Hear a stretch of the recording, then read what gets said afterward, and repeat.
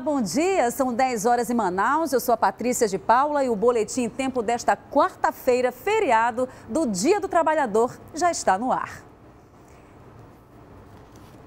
Falando em trabalhadores, a classe de professores continua em greve há duas semanas. Aqui no Amazonas, ontem a categoria foi ao plenário da Assembleia Legislativa do Estado para pedir apoio aos deputados. Eles também prometem repor as aulas perdidas. Aos poucos, os professores foram chegando à Assembleia Legislativa. Cerca de 400 profissionais de educação participaram do movimento. O protesto começou na Arena da Amazônia e terminou com a presença em massa da categoria no plenário do Legislativo. Os professores lotaram o plenário da Assembleia Legislativa. Eles vieram de uma caminhada do ginásio Amadeu Teixeira, cerca de 2 quilômetros, e agora estão todos concentrados aqui no plenário, numa tentativa de forçar o governo a negociar. Agora nós estamos mostrando para vocês a intensidade de pessoas aqui, inclusive é até difícil andar, muita gente acabou entrando aqui no plenário com autorização da Assembleia Legislativa e eles prometem sair daqui apenas com uma negociação. Os professores entregaram nesta segunda-feira ao governo um estudo encomendado ao DIEESE que revela perdas salariais acima de 9% para a categoria desde 2014.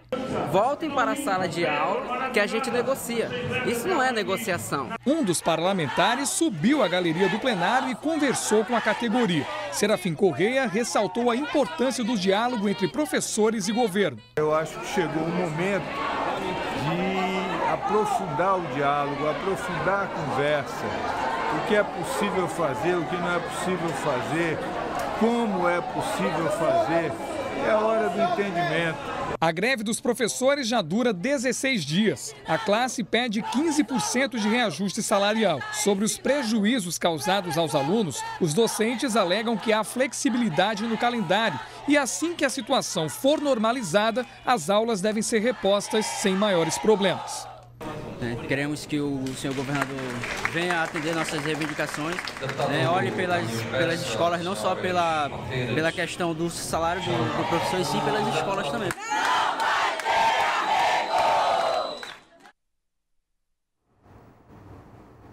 E na tarde de ontem, a classe dos professores se reuniu em assembleia para analisar a proposta apresentada pelo vice-governador Carlos Almeida. Sem acordo, a categoria decidiu manter a greve por tempo indeterminado. O governador Wilson Lima também esteve reunido ontem com uma comissão de professores do município de Manicoré, que fica aí a 302 quilômetros da capital, e afirmou que vai fazer o que for de direito dentro das limitações orçamentárias e também financeiras ele alegou que qualquer reajuste além da inflação dos últimos 12 meses vai ferir a lei de responsabilidade fiscal e, com isso, ele pode até ser preso.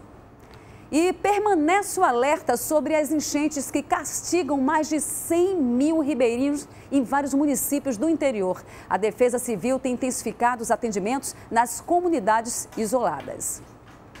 O alerta de cheia é feito desde 1989. Ele garante a eficiência dos órgãos integrados de defesa civil na ajuda humanitária às comunidades isoladas por conta da subida das águas. O Serviço de Proteção da Amazônia participou nesta terça-feira da apresentação do segundo alerta e mostrou dados preocupantes nas calhas dos rios, com chuva acima da média. A expectativa que a gente tem é que o Eninho vai enfraquecer, mas ainda não no começo do próximo trimestre, nos meses de maio, junho e julho, ele esteja atuando, principalmente no mês de maio, ainda com um pouco de deficiência nessas duas bacias citadas anteriormente.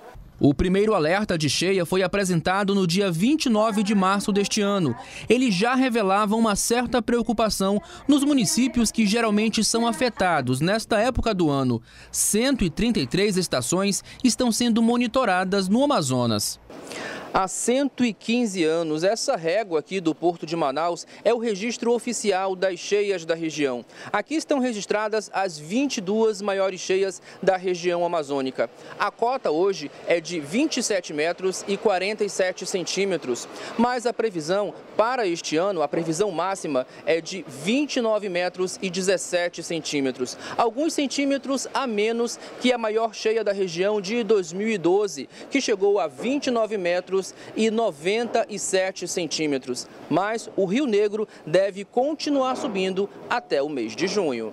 Em todo o estado, já são 12 municípios em situação de emergência: Eirunepé, Guajará, Ipixuna, Carauari e Itamaraty na calha do Juruá, Boca do Acre, Lábria e Canutama na calha do Purus, Humaitá, Novo Aripuanã, Manicoré e Nova Olinda do Norte no Rio Madeira, Juruá, Atalaia do Norte, Tabatinga, Benjamin Constant, Tapauá e Borba estão em situação de atenção.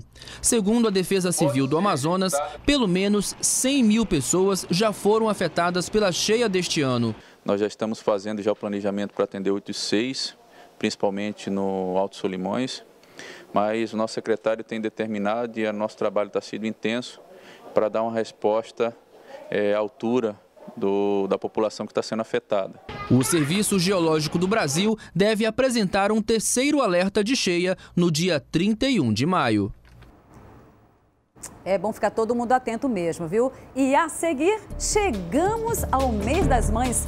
E você, já sabe o que vai dar de presente? Os comerciantes estão otimistas. É no próximo bloco. Até já!